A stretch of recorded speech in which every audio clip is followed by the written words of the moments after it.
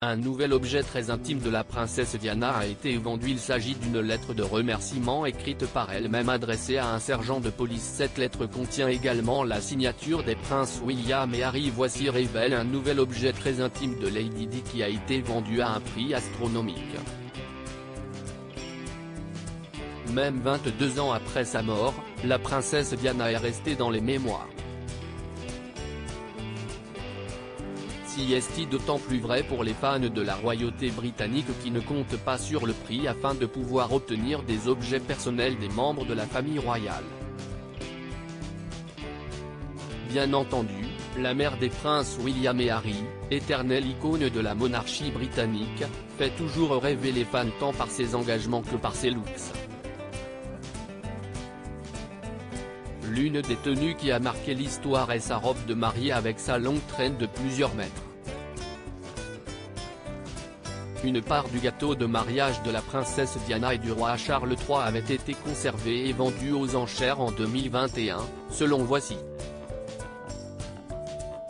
On parle d'un entre-mets de 784 grammes conservé depuis 1981 dans un vieux moule à gâteau dont le prix de départ était de 590 euros.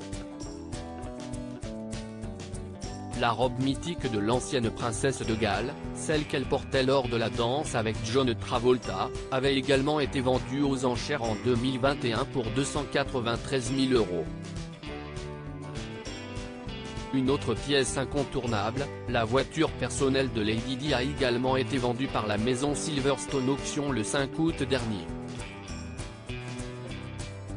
On parle bien de la toute première Ford Escort RS noire qui a été proposée à un prix de départ de 100 000 euros.